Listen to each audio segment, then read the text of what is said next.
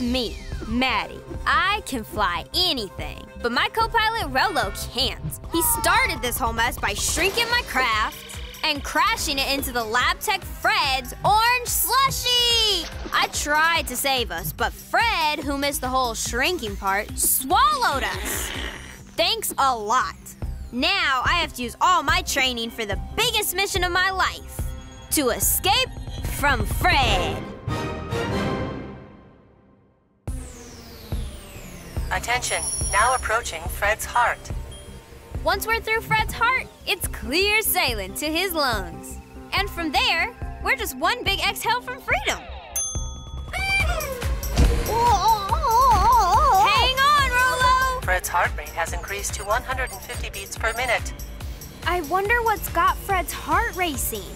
Oh, wait, Fred swims every day. This is perfect.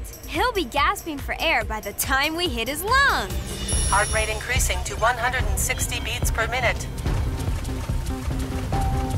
Now approaching the right atrium.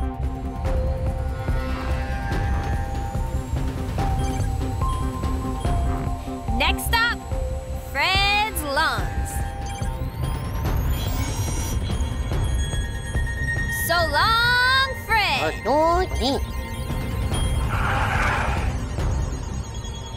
What's happening?